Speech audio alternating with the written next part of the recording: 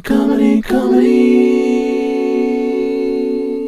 Nest. I am uh, I'm married. I've learned a lot being married. I've learned it's not good to be funny all the time. In fact, there's times where you really shouldn't be funny at all. For example, my wife, who's a redhead, recently s- said to me, Do you think I should get my hair dyed blonde? And I probably should have said nothing.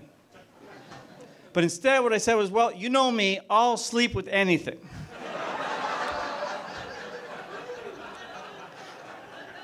And if you tell your wife that you will sleep with anything, you will sleep with nothing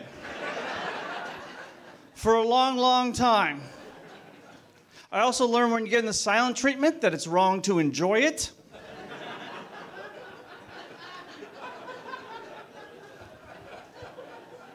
There's no smiling during the silent treatment. It's a painful time filled with sadness and grimaces.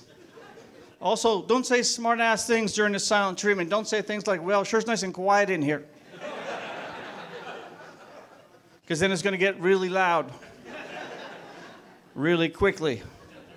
Don't try to take advantage of the silent treatment. Don't use it as an excuse to invite your friends over. And if you do, don't promise them an interruption free game of poker. If you do that, don't expect sandwiches.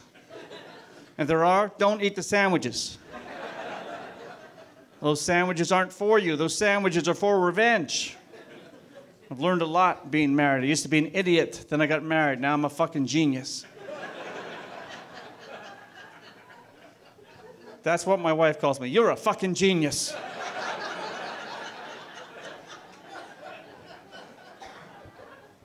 My wife recently called me a narcissist. I did what any man would do. I looked it up.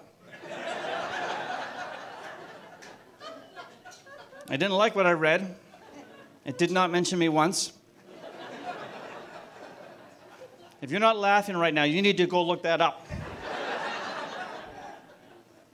Sometimes I get into trouble. I don't even mean to say, say the wrong thing, just comes out wrong, and then it's too late.